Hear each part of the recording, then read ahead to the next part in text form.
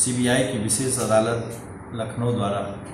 विवादित ढांचा विध्वंस के संबंध में ऐतिहासिक फैसला आने वाला है। इस संबंध में अयोध्या जनपद के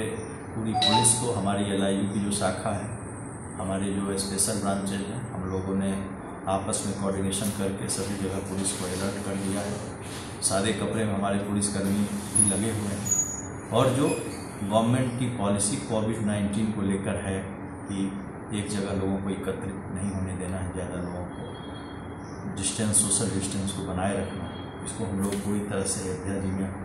लागू करेंगे। और कल अयोध्या जी में जो लोग बाहर से जो लोग आएँगे तो यहाँ पर किसी प्रकार का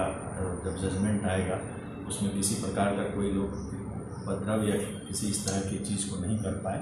इसके लिए भी पुलिस की पूरी सतर्कता रखी हुई है और कल व्यापक पैमाने पर चेकिंग हम लोगों के द्वारा की जाएगी और संदिग्धों पर हम लोगों की लगातार निगाह बनी